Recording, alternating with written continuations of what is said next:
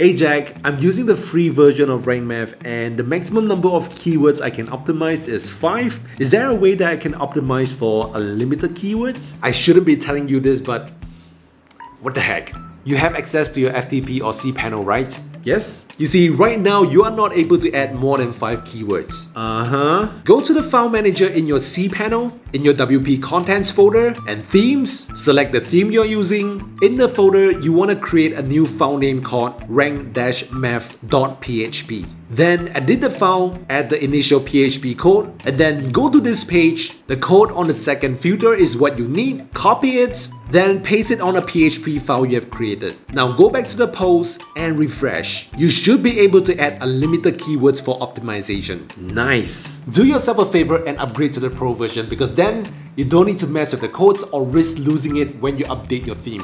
You get tons more from the pro version. Hmm.